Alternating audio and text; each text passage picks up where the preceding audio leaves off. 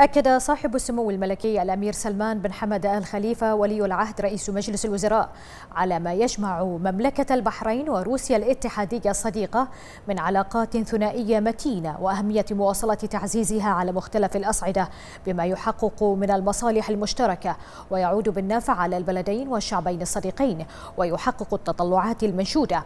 جاء ذلك لدى لقاء سمو حفظه الله بقصر رفاع اليوم سعادة السفير إيغور كاريمانوف سفير روسيا الاتحادية لدى مملكة البحرين حيث نوه سموه بما وصلت إليه مسارات التعاون المشترك وأهمية الدفع بها نحو أفق أرحب للوصول بها إلى مستويات متقدمة على كافة المجالات.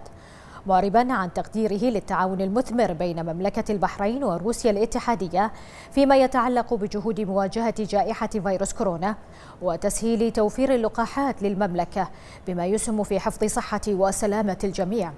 مشيرا لضرورة مواصلة تعزيز أوجه التعاون الدولي لدعم الجهود العالمية للتصدي للجائحة. وجرى خلال اللقاء استعراض آخر المستجدات على الساحتين الإقليمية والدولية ومناقشة مجمل الموضوعات ذات الاهتمام المشترك.